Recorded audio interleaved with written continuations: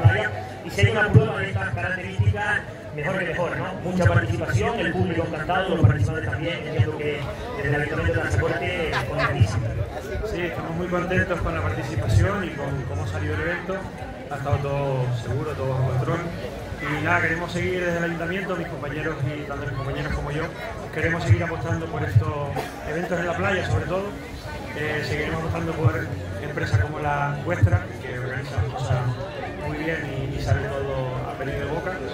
Nada, desde aquí agradecer a todos los participantes, a los operarios del ayuntamiento que han montado esto muy bien y, y en tiempo récord. Y nada, esperarlos el año que viene aquí y que se animen y que vuelvan y que haremos algo, intentaremos darle una vuelta de tuerca a la prueba. Que así sea, buenísimo el aplauso para Alfonso Alves con la ganadora de la distancia larga. No ha sido fácil, hemos visto esos últimos metros con bastante interés, con bastante sensación de que al final, para la redundancia, te ha llevado el rato.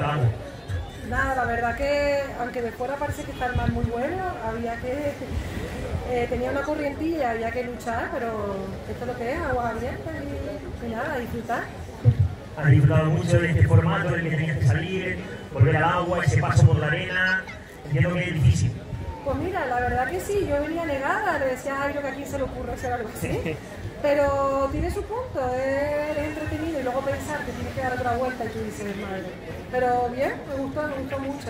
La travesía muy chula, dura, exigente y, y con velocidad. Próximo año aquí otra vez en esa tercera edición. Por supuesto, cuente con nosotros.